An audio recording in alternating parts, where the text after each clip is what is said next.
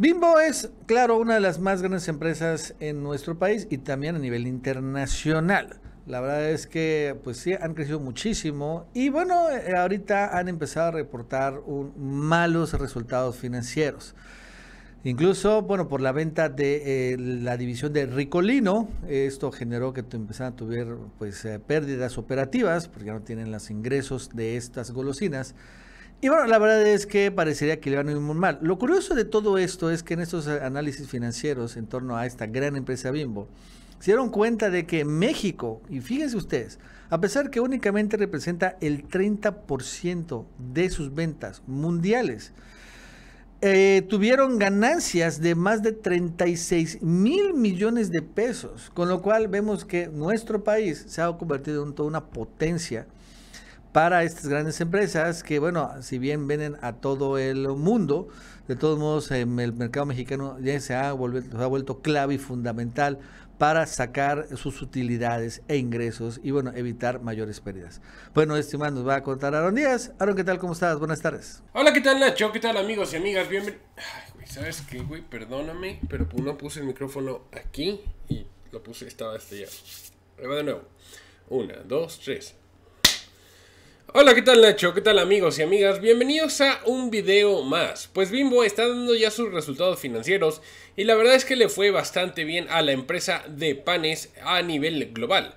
Y es que esta empresa eh, está reportando sus ganancias y o sus ingresos como tal. Y la verdad le fue bastante bien si lo comparamos y le restamos la inflación porque terminó ganando. Y aquí estamos viendo distintas cosas porque México fue uno de los países, dato curioso, que más le ayudó a, Bimbo a poder crecer y mantenerse. ¿Por qué? Porque en México eh, se expandió la venta de estos panes. Y es curioso porque justamente el año pasado había un movimiento para boicotear en México a Bimbo. Y algo que yo les dije es que ese tipo de boicots son completamente innecesarios. O sea, si la gente se enoja porque Bimbo sube los precios, simplemente no lo compres. O sea, no, pero hacer un boicot creo que al final del día puede resultar eh, efecto boomerang. Porque llamaste la atención a ese bimbo y la gente que se le antojó un bimbo, pues va y se compra algo. Yo en lo personal no lo consumo, no me gusta ese tipo de comida, se me hace demasiado chatarra, pero bueno, ¿quién, quién soy yo para andar juzgando? Dice que el grupo Bimbo empezó el año con ventas récords, las cuales alcanzaron los 99.565 millones de pesos entre enero y marzo pasado, un incremento del 9.9%, básicamente el 10% contra el mismo periodo del año pasado. Daniel, el, Daniel Serviste, el presidente de la compañía, aseguró que tuvieron un primer trimestre muy fuerte ya que siguen viendo el beneficio de su estrategia de precios implementada durante el 2022, la cual permitió superar las expectativas y los resultados. Y es que si se acuerdan, el año pasado hice un video acerca de cómo Bimbo, o sea, yo realmente lo que hice fue analizar los incrementos de precios de Bimbo contra las materias primas, los insumos, para ver si realmente era factible o tenía lógica, había razón de poder de subir las, los precios tanto. La conclusión es que no, es que Bimbo sí está pasando, está aumentando de más. De hecho, si no me recuerdo, la cifra era cerca de un 10% extra de lo que realmente deberían de haber subido. Y de hecho, gracias a eso es que la gente los quería boicotear. Pero eh, si lo ves de esta forma, lamentablemente se ese fenómeno donde algunas compañías cuando suben los precios porque la gente, hay una aceptación, ahora sí que de manera universal o homogénea, de que si estamos en un periodo de inflación alto, las personas aceptan que los precios van a aumentar y pues no restringen sus compras. Entonces, eh, Bimbo aprovecha que la gente ya esperaba que los precios aumentaran para aumentar de más los costos. ¿Eso significa que Bimbo es malo y deberíamos de acabar con ellos? Pues no, o sea, simplemente yo lo veo así. Si no puedes comprarte Bimbo, no lo compres. o sea, es más, por salud no lo compres. Pero no, no es, completamente innecesario ponerse a, luchar en contra de Bimbo como si fueran eh, salidos del mismo Satanás. No, al final del día es una empresa que quiere hacer dinero. Si ellos la suben de más, nadie está obligado a comprarlos. Si ellos suben de más, pierden clientes, terminan por caer. Por eso se va autorregulando. Si tú los compras, pues tú le estás diciendo, no hay problema con el precio. Y eso es precisamente el efecto. Y yo creo que por eso se dio ese fenómeno donde los mexicanos nos dimos, o sea, aunque se subió el precio, pues ahí van a comprar Bimbo. ¿Por qué? Porque esperaban que iba a todos a subir, porque todo estaba subiendo y lo subieron de más. Aunque ya hizo el compromiso de que los aumentos de precios en el futuro van a ser cada vez menores. Vamos a ver, eso sí es cierto. Creo que tiene que ir relacionado con la inflación, no tanto porque Bimbo quiere ser. Bueno, ellos sabrán, ¿no? Es una empresa, al final del día ellos eligen cuánto subir o cuánto bajar. En Norteamérica, la panificadora registró un crecimiento del 15.3% en sus ventas en términos de dólares, 15.3%, como resultado del beneficio eh, de la implementación exitosa de su incremento de precios hecho. En México, su, ah, pero algo curioso, ¿eh? algo curioso antes de continuar. Aquí, en el caso del dólar, ellos le perdieron porque el peso mexicano se fortaleció. Entonces, cuando hacen la conversión, a ellos les hubiera convenido más que el, precio del dólar se fuera a 50 pesos, porque pues eh, hubieran hecho un buen de pesos. Pero, era lástima. A ver si que en México nos conviene a todos mejor que, que se eleve el precio del peso mexicano, porque así tenemos mayor poder adquisitivo. Tan solo en México sus ventas aumentaron un 19.8%, es un casi 20%. O sea, de hecho fue el mayor aumento de, de, todos los, de todos los países donde trabaja. México, por eso, a cierto punto México lo salvó, le salvó las ganancias, porque fue gracias a que México empezó a consumir más. Por, por eso vuelvo a lo mismo.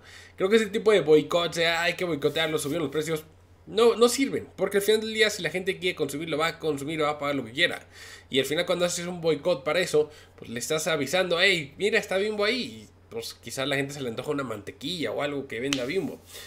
Eh, bueno, llegando a 36.244 millones de pesos, donde sus categorías de galletas, pan, pan, pan dulce, pastelitos y botanas registraron un avance de doble dígito. La panificadora mexicana reportó que su utilidad neta de 4.046 millones de pesos, esto, tuvo una disminución del 10% respecto al año pasado debido a los efectos de tipo de cambio así como la utilidad discontinuada de eh, discontinuada ok asociada con la venta de Ricolino o sea, básicamente están diciendo, de hecho, hay otro factor por el cual perdieron, tuvieron una pérdida en sus ganancias. O sea, aunque tuvieron ventas máximas, muy buenas, su, su, su mm, utilidad, o sea, sus ganancias cayeron, no ganaron tanto. ¿Por qué se dio? Se dieron por tres factores. Una, como ya les adelanté, el hecho de que el dólar se haya caído frente al peso mexicano. Como si ellos ganan en dólares, ah, eh, si lo venden en el extranjero, cuando lo traen a México, se les cae, se les cae el, el valor. También hubo otra razón y es que tuvieron que en Estados Unidos estar pagando 419 millones de pesos a los planes de pensión multipatronales o MEPS a, sus trabajadores estadounidenses. ¿Qué es eso? Son como aquí en México como el, el Afores, pero ya son los 401ks, este tipo de esquemas de jubilación. Y en México, mira nada más, en México, aunque Estados Unidos se lleva el número en ventas, Estados Unidos está comprándole a Bimbo 47.246 millones de pesos en pan, México está comprando 36 mil. En primer lugar, México tiene menos población que Estados Unidos. Pero también en segundo lugar, al momento que vemos que México se queda con un segundo lugar, vemos que en términos de porcentaje, México se llevó el 30% de las ventas de Bimbo. Y aún así tuvo de las mejores ganancias en términos de utilidad aquí en México. En tercer lugar se encuentra Europa con 10.298 millones y por último Latinoamérica con 9.630 millones de pesos. Y ya por último, nada más recordarlo, eh, Ricolino. Ricolino también hizo que tuvieran pérdidas en sus ganancias. Si, yo creo que si no hubieran vendido Ricolino, eh, hubieran tenido todavía un poquito más ahí de ganancias. Pero bueno, ¿cómo le fue entonces en la bolsa? Pues la bolsa eh, le, le, celebró, porque ahora sí que gracias a México, les fue mejorcito a los señores, ya que aquí aumentan las ventas y aumenta también la utilidad. No, no, tienen ese problema de estar pagando este tipo de afores, el 401k, como se llaman en Estados Unidos. Eh, además, aquí el trabajo laboral mucho más, más bajo que en los Estados Unidos, o el costo.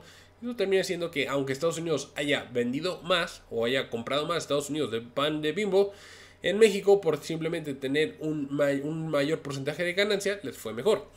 Bueno, eh, se ha subido desde el 26 de abril, cuando salen los resultados, subió cerca de un 5% la acción de Bimbo. Se encuentra en un buen lugar para comprarla, si es que la quisieras comprar. Yo diría que no.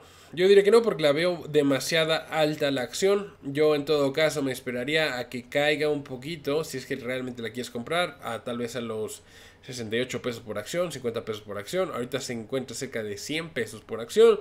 Yo no la compraría aquí, yo la compraría más abajo, tal vez desde los 80 hasta los 60. Si por alguna razón llega a caer cerca de los 40 pesos, ahí lo compras. Ahí, ahí compraría yo acciones, pero ahorita, Nel. Así que pues bueno, espero que el video les haya gustado. Si fue así, déjense ese like, déjense comentario, compartan para que lleguemos a las personas. Les invito a suscribirse en caso de que no estén suscritos. Los veo en un siguiente video. Cuídense mucho. Bye.